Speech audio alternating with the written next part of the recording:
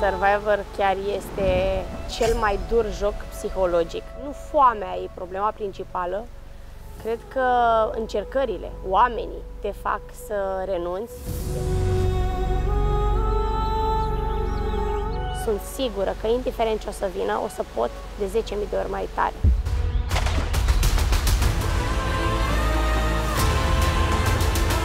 Aici e locul meu, nu o să las pe nimeni să ia ce al meu. O să dau totul. O să dau și ultima picătură de energie din mine pentru a ajunge cât mai departe. De ce nu să ridic trofeul?